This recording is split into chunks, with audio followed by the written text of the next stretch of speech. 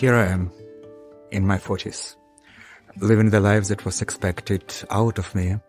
Time has come to fulfill a promise, promise I gave someone to find myself, to live the life I wanted, to have that experience. Hey! And would like to take a shower. Shower. I think a few days here will make you see life differently. You came here to reconnect with yourself. You and yourself.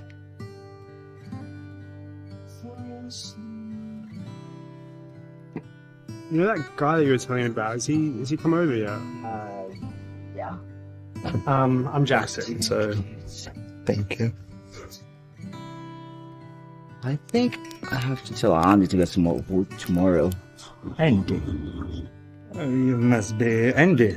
I'm staying here for a few days. The one from the city. Yep. That would be me.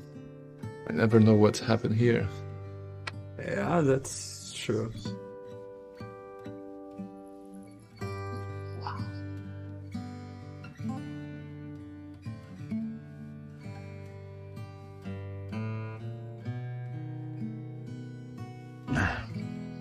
I'm lost now.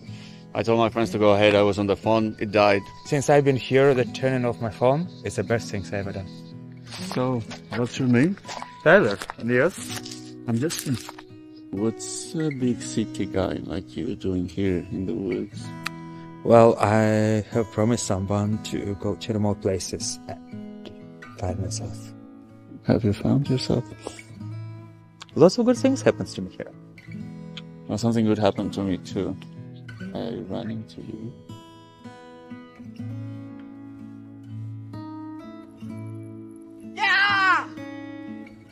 Come here. And that you are an extraordinary person.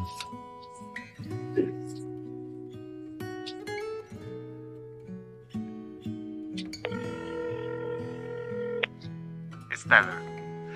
Listen, cancel all my meetings. It will take me a few days before I will be back to the office.